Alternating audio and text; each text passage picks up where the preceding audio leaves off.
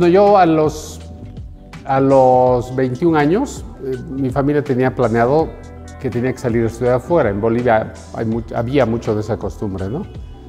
Bueno, ahorita tengo sobrinos que igual están viendo la manera de escapar, salirse de Bolivia, lamentablemente por todo lo que está pasando.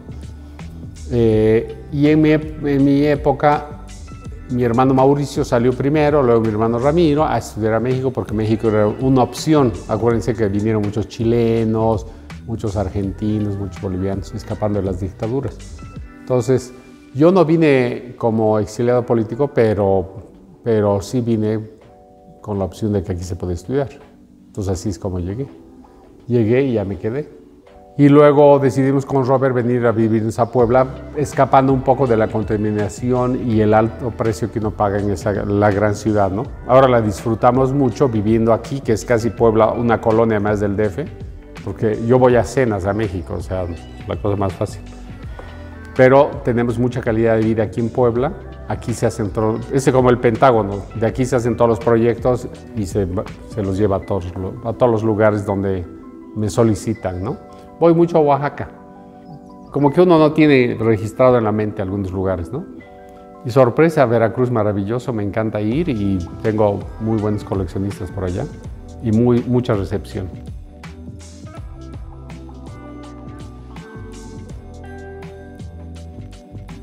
Mi padre fue gerente de un banco del Perú que lo llevó a Bolivia y él dibujaba mucho. Dicen que era muy buen dibujante y todos los hermanos dibujamos. Y en mi casa siempre fuimos muy visuales, mucha inclinación estética, que los muebles, que los cuadros, que, que el jardín, que todo esté padre, etcétera, Hubo mucha influencia familiar. Y de por sí había ese don innato y, y, también había una pasión, ¿no? Yo en la primaria todo el mundo me decía, hazme mi tarea de dibujo, hazme, hacía las portadas de las carpetas de los compañeros. Siempre yo era el Dibujos, busquen a Byron, siempre. Y, en la secundaria, incluso yo hacía la tarea para todo el salón, los hacía todos y les cobraba. Eh, entonces, eh, pues yo creo que ahí comenzó mi carrera.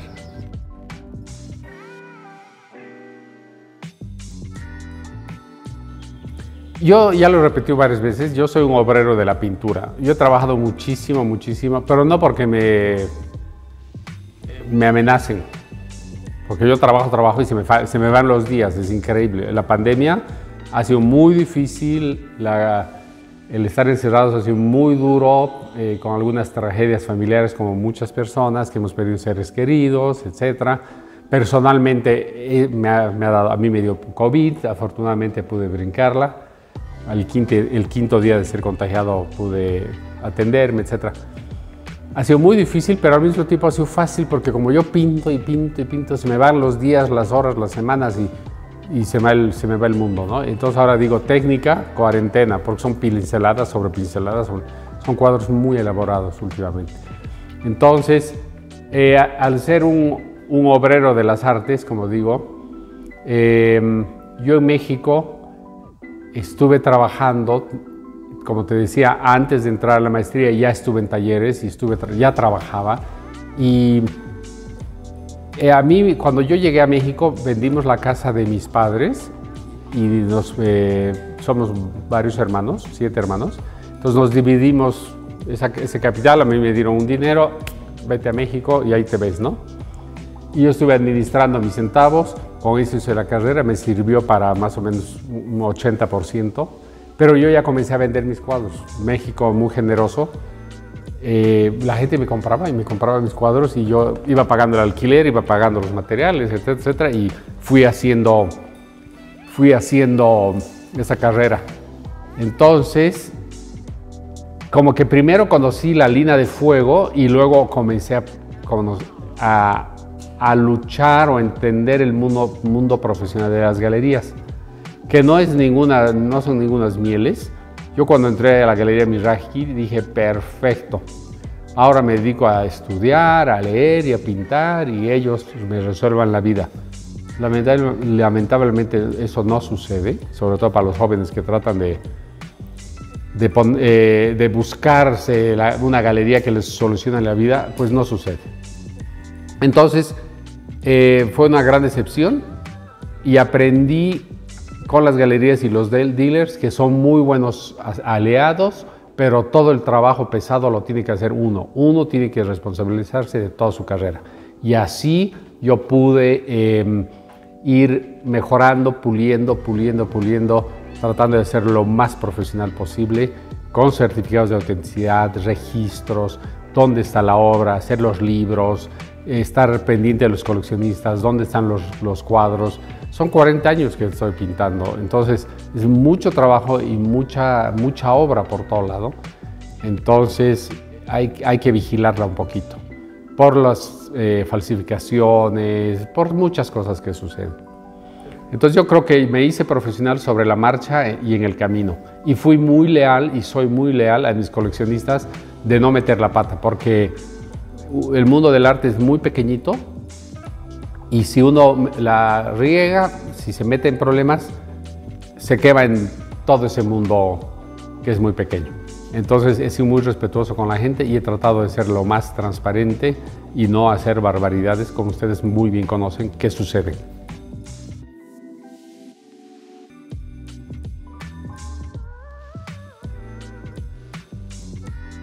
¿Sabes qué? Es una pregunta que que me agarras en curva, me, pasó una vez con Graciela Kartoffel, una crítica de arte, que dijo que iba a ir a, a mi departamento allá en México a hacerme una entrevista. Yo me preparé una semana para la entrevista. Llegó, se sintió en un sofá y lo primero que me preguntó es, ¿quiénes son sus maestros que lo han, lo han influenciado en arquitectura? Me, se me bloqueó la mente porque no me acordaba de nadie. Yo salí de arquitectura con mención honorífica, hice todo lo que tenía que hacer. Terminé la escuela como que se me borró el cassette. Y en San Carlos pasa lo mismo. Había un compañero que era Julio, que terminó siendo el director de San Carlos. Pero es muy triste en México, y lo veo la gente de la prepa que terminan, terminan esos periodos y se como que cada quien toma su camino y muy poca gente tiene contacto, menos en la universidad. De, de mi universidad como es de mi época en la UNAM, que entramos 120 alumnos, creo, era impresionante. De ellos tengo contacto con 4 o 5, pero ni siquiera vamos a comer, es por chat de vez en cuando, muy de vez en cuando, es muy triste. Eh, y de esos ciento y tantos salimos como 5, nos graduamos 5 eh, en el tiempo, en los 4 años, 5 años, 5 nos graduamos como arquitectos. Es impresionante, es muy triste. Entonces, en San Carlos em, no he tenido un seguimiento, no sé qué habrá pasado con mis compañeros realmente.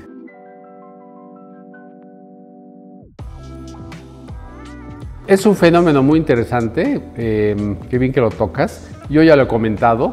Eh, hay entrevistas de Diego Rivera que dice, nosotros en mis épocas nos juntábamos con Frida Kahlo, fulano, sutano, mengano, íbamos a los cafés allá en México, nos reuníamos, intercambiábamos ideas, etc. Claro que la Ciudad de México creo, creo que eran 3 millones de habitantes. Entonces la gente compartía mucho. Sucede que ahora, por las redes sociales, lo que estamos viviendo, en el mundo los artistas ya no se reúnen. Es una, es una tragedia, realmente es una tragedia. Es muy raro que compartan ideas, que hagan, no hay colectivos, no hay manifiestos, tampoco hay corrientes, eh, cada artista va por su camino. Entonces yo creo que es un fenómeno del mundo, es algo que está sucediendo. No sé si es por egoísmo, si es eh, la vida muy loca, muy difícil, que cada quien está tratando de salir adelante. Por otro lado, eh, como artista ahora, tampoco tenemos mucho tiempo para la pachanga. O sea, un artista no es como la época de Diego, Rivera, que cuanto más borrachos y drogándose y pasándola increíble, fantástico, le salían unas, unas iluminaciones, unas ideas buenísimas. Eso ya no sucede porque no tenemos tiempo, tenemos que trabajar muchísimo. Un artista no tiene el trabajo de un burócrata o de un oficinista. Hay veces trabajamos hasta las... Yo estoy acostumbrado a trabajar hasta las 11, 12, 1. Ahora por, por mi edad, entre comillas, ya no aguanto trasnocharme tanto. Pero en mis épocas, yo, para mí era normal trabajar hasta las 2 de la mañana sin ningún problema. Entonces, ya no hay mucho tiempo para, para compartir, lamentablemente.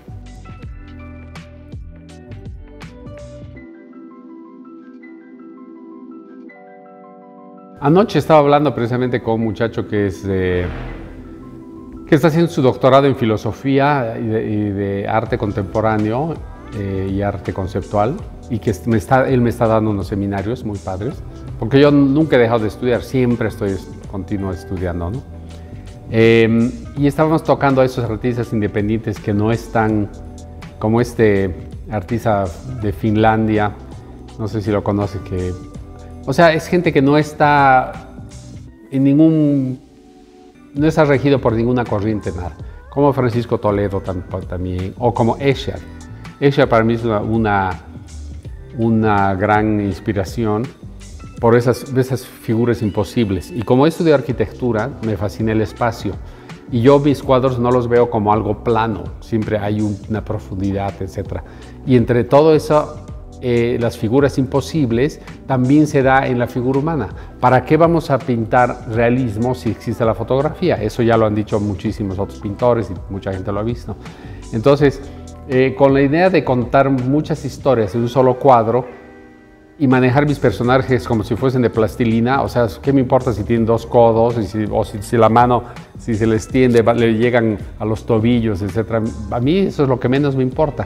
Me importa que la obra sea fresca, que tenga alma. Yo a mis alumnos les digo, encuentra en el momento que tu obra tiene alma y ahí paras de pintar. Ahí, cuando tú pases y veas la obra, que te llame. Entonces, eh, yo trabajo en eso y mis personajes, mucha gente ha trabajado o, grandes nobles, ¿cómo es? Grandes personajes nobles en una, en una, eh, una temporada, en el barroco, por ejemplo, o luego eh, personajes épicos, Napoleón, etcétera, eh, gente muy destacada. Eh, o luego cuando Courbet, que se va al campo y comienzan a, retomar la vida cotidiana, que el campesino, em, que como es utilizar a una prostituta como la Virgen María en un cuadro de em, Caravaggio, por ejemplo, irse a, a esos extremos. Pero yo tomo un extremo medio, que es el, es el artesano, la vendedora del mercado, el carnicero, que tienen toda una vida propia. Yo no voy a contar su pobreza, no me interesa su pobreza material, sino su riqueza espiritual o, su, su riqueza de vida. Eso es lo que me interesa porque me ha fascinado mucho. Yo de chico contemplaba a la señora que iba a la casa a lavar a la casa, éramos nueve hermanos, había un chorro de ropa y la pobre mujer sabe lavar todo el día, pero llegaba y tenía un peine de este tamaño, fosforescente, amarillo o, rojo, y se lo ponía en la trenza y se la pasaba lavando y caminando por la casa y colgando la ropa con el peine. Y para mí era una, ¿por qué hace eso esa mujer? ¿Qué es esto? Qué raro. Y eso está en mis cuadros. Entonces esos recuerdos para mí son, ¿cuántas veces ustedes que han ha ido a una fonda o has ido al campo, etcétera, y ves algunas actitudes que te matas de la risa? Porque hay una subcultura, una cosa así que no está registrada. Es una, entre líneas, hay algo muy, muy hermoso que está en todas las culturas. Eh, y eso es lo que yo trato de rescatar. Y tengo muchos personajes Em, eh, las prostitutas, las eh, travestis, los delincuentes no, pero por ejemplo alguien que está, em, que tiene una carta escondida bajo el, eh, bajo el puño de la manga, etc. Esos pequeños pilluelos ¿no? de la sociedad, eso es lo que me interesa.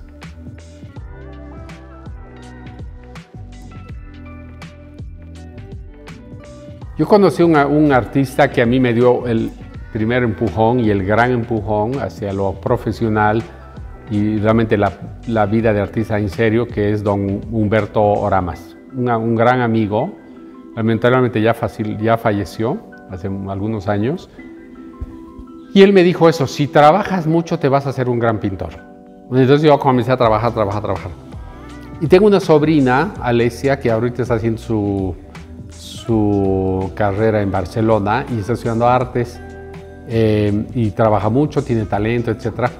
y sus, sus papás quieren que yo le, un poquito la apoye, etcétera, y la voy a apoyar, etcétera. Y yo la, estoy viendo que está trabajando, entonces con esto estoy tranquilo. Lo que viene siguiente, lo que el paso siguiente es, lamentablemente, no solo con trabajo vamos a ser grandes artistas. Finalmente es la madurez y la riqueza de vida. Entonces a esa mi sobrina ya le he dicho, estudia, viaja, por suerte le encanta viajar y es buenísima, se mete a todo lado y, hace muchas cosas. Un, joven tendrá que acumular muchas de esas experiencias, como yo lo he hecho, conocer mucha gente, meterse a todo lado, por las ventanas si, si no te dejan, y con eso vas a poder forjar un lenguaje personal. Estudios y vida personal. Y ni modo, hay que, es el tiempo, ¿no? El tiempo lo va eh, lo va a definir como un pintor especial.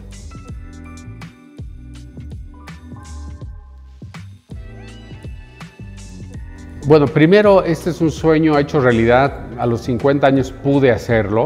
Con Robert hicimos este proyecto. Eh, lamentablemente ahorita por la cuarentena estamos un poco en silencio, pero había mucha vida. Hemos hecho Robert tiene ahí su instituto, que hay muchas clases de fotografía, de imagen, de infinidad de, cursos. Y yo aquí abajo doy clases de pintura, pero son cursos muy especiales que entran, yo dije cuatro personas, pero luego hubo, hubo más demanda, llegamos a ser 10 y son solamente martes y miércoles cada 15 días. Ahorita por la pandemia estoy recibiendo nada más 5 personas. No me interesa tener un curso aquí de 25 o 30 personas porque las clases las hago muy personalizadas. Yo les digo, no te voy a decir qué pintar, cómo pintar. Tú vas a hacer lo que te dé la gana, yo te voy a ayudar a que salga mejor. Esa es la idea. Y tú haz lo que te da la gana. Procuramos que en el curso no se hagan cosas, cosas convencionales que sean agresivos, que experimenten, que, propongan cosas nuevas. Y han, habido muy buenos resultados, a la gente le gusta mucho, se les bota la creatividad impresionantemente em, y es una gran satisfacción. Mucha gente ve esto y se, y se quedan encantados, etc. Pero siempre les digo, pues ya están viendo el proyecto hecho, no han visto el camino.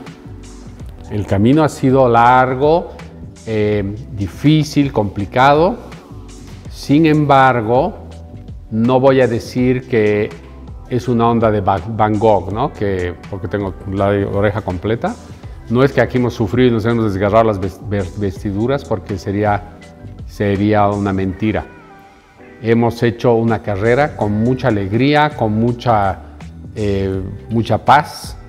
Eh, afortunadamente, sí han habido carencias, pero Hubo para los frijoles, hubo para los materiales, gracias a los coleccionistas. Y se ha podido hacer este proyecto gracias a los coleccionistas. Totalmente. En esa mesa que ves, todos los pinceles, los óleos salieron de los coleccionistas. Entonces, muy agradecido al respecto.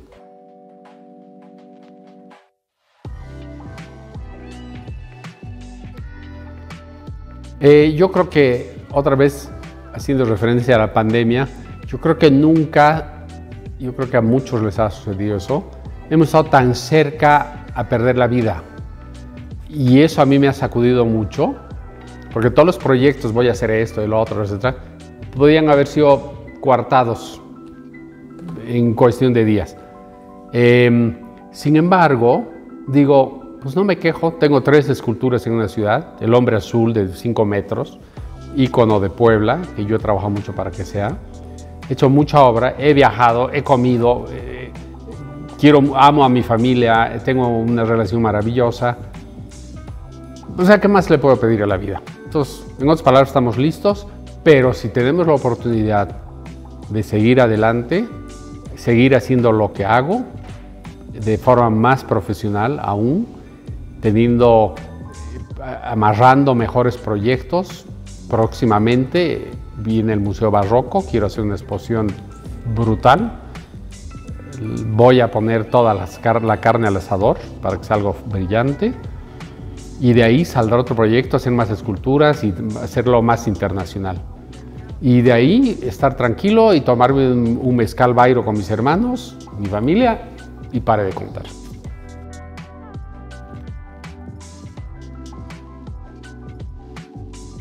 Yo soy un artista eh, polifacético, me gusta brincar de una técnica a otra. Sin embargo, mis favoritos por la sobriedad y la contundencia es el óleo y los bronces.